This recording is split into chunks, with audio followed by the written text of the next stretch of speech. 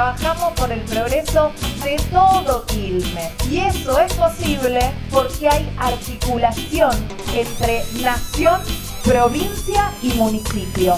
Porque nosotros y nosotras tenemos una premisa, trabajar, trabajar y trabajar, siempre. Vinimos a Quilmes a ampliar los derechos, que no les metan en la cabeza aquellos que tienen todo que ustedes no se merecen nada. Tiene que ser lo mismo haber nacido en el centro o en la periferia, tiene que ser lo mismo porque no puede haber argentinos de primera y de segunda. Creemos en un Estado que garantice el derecho a la jubilación, a la pensión, a la educación pública, que pelee por la distribución del ingreso, que garantice el derecho al agua, a la cloaca, que además se descentralice, que esté cerca de la gente. Por más que les digan que el Estado no sirve, siempre para adelante.